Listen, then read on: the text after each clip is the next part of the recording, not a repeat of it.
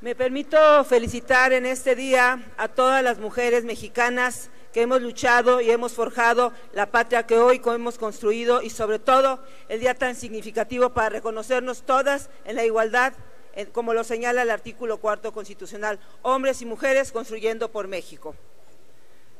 Con la venia, compañera presidenta, compañeros y compañeros diputados, en Nueva Alianza estamos decididos a impulsar las, las iniciativas que propicien cambios sustantivos para una explotación nacional y responsable de nuestros recursos naturales. En congruencia con estos principios, hoy me permito someter a su consideración la presente iniciativa que adiciona los párrafos tercero, cuarto del artículo 23 y una fracción del artículo quinto al artículo 26 de la Ley de Hidrocarburos.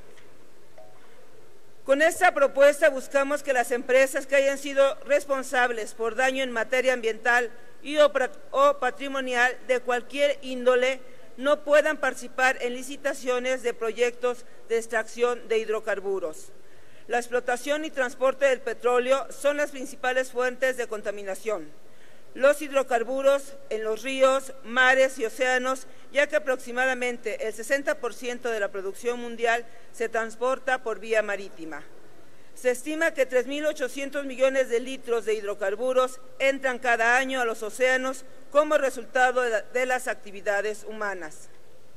De estos, solo 8% se debe a fuentes naturales, por lo menos el 22% a descargas operacionales intencionales de los barcos, el 12% por derrames de buques y el 36% por descargas de aguas residuales. Entre los más graves desastres ambientales se encuentran los derrames de petróleo que provocan grandes daños a los ecosistemas y a la salud humana con las consecuencias de afectaciones socioeconómicas. Es una realidad inexorable que el daño medioambiental ocasionado por los, derrames termina en la mayoría de los casos afectando gravemente la actividad económica de la región donde se producen. Las especies mueren ahogadas en una marea negra o bien son un peligro para la ingesta humana, pues sus cuerpos en su hábitat y fuentes de alimento han sido expuestos a contaminantes, incluso por décadas.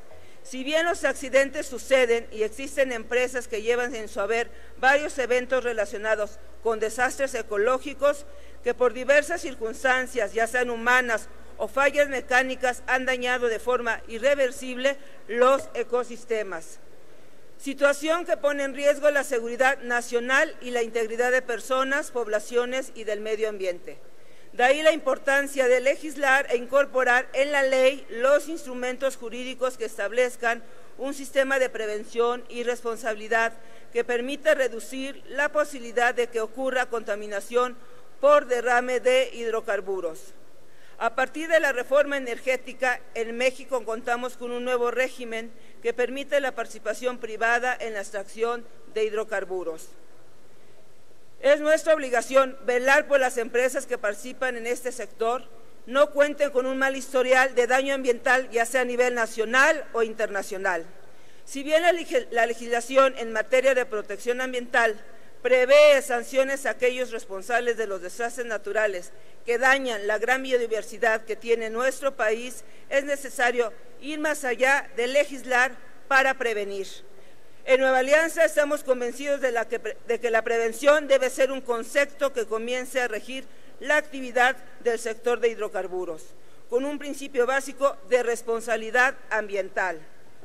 Por ello proponemos que mediante la legislación se establezca como requisito ineludible que las empresas que deseen participar en las licitaciones de proyectos de extracción de hidrocarburos no hayan tenido antecedentes de accidentes por negligencia o falta de capacidad atribuida a las mismas. Porque proteger el patrimonio, la salud y el derecho humano de todos los mexicanos a un medio ambiente sano es una responsabilidad que asumimos en Nueva Alianza y estamos dispuestos a crear las condiciones para ello.